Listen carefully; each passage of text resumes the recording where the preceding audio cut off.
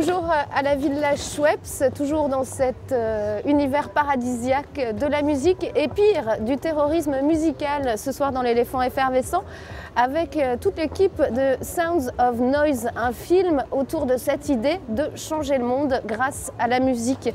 Et puis Henri Chapier qui prendra une voiture pour nous rejoindre, ça sera quelque chose, j'espère, et surtout pour nous faire son palmarès euh, du Festival de Cannes. Enfin, on terminera en beauté dans l'éléphant avec Judith Godrèche qui fait son premier concert ce soir à la ville de la Schweppes. J'espère que vous serez avec nous, c'est à partir de 18h. Alors, bon, comme on n'a pas un temps infini, euh, Mélanie, je crois pronostiquer que Beautiful d'Alejandro Rosales Inarritu aura un grand prix, soit, euh, soit la Palme, soit un grand prix du jury, parce que c'est un film qui totalise absolument tous les problèmes actuels, qui est centré autour d'un personnage euh, qui a une histoire, mais je ne vais pas entrer dans les détails, mais il y a tout le problème, euh, tous les ravages, disons, euh, de la mondialisation dans ce film, euh, tous les malheurs des gens qui doivent quitter leur pays, qui ne sont pas admis et, qui mm. souvent en meurent parce qu'exploités, pas reconnus, etc. Donc on va voir... a fait une misérabilis pour autant, mm. mais c'est un, film, un pamphlet social, politique, qui va bien au-delà de beaucoup de films de ce genre-là.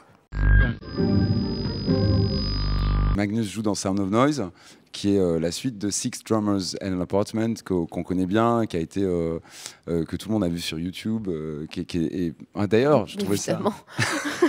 non, mais...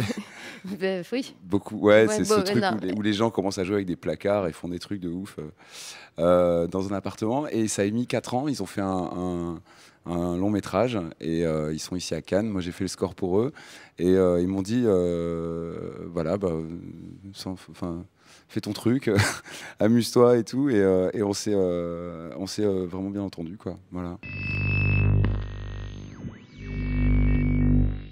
It's a movie about uh, love, uh, lunacy and very loud drumming.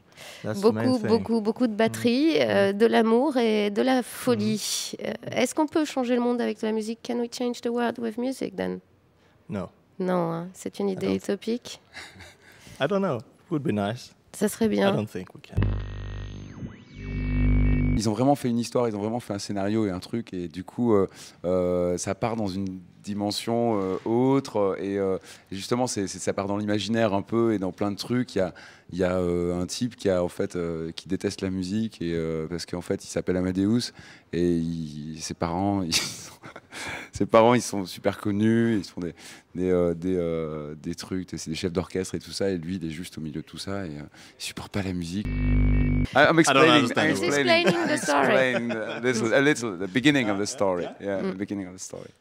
Et, et, voilà, c'est tout. Un, non, mais c'est vrai qu'il y a un vrai scénario, tu vois, il y a un truc parce que effectivement, un, un, tout un tout un long métrage juste sur ce principe, c'était pas. Ouais.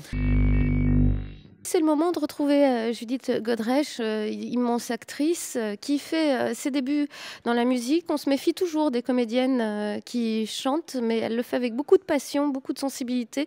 On en a parlé cet après-midi quelque part sur la croisette parce que elle avait un petit peu peur de le faire en direct ce soir. C'est son premier concert, Judith Godrèche.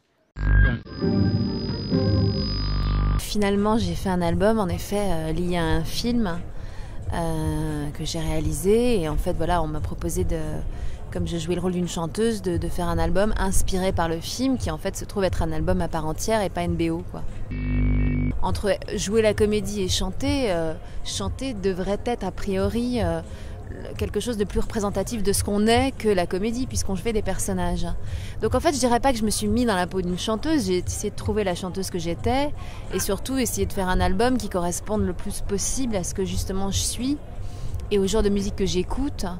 Euh, et qui ait une harmonie dans tout ça et en même temps qui ait une forme d'humilité de pas justement dire attention j'arrive j'ai une voix euh, à tout péter euh. Pour moi, vraiment, quand on devient chanteuse, justement, c'est qu'on monte sur scène. Et en fait, j'ai découvert que non, c'était pas du tout lié.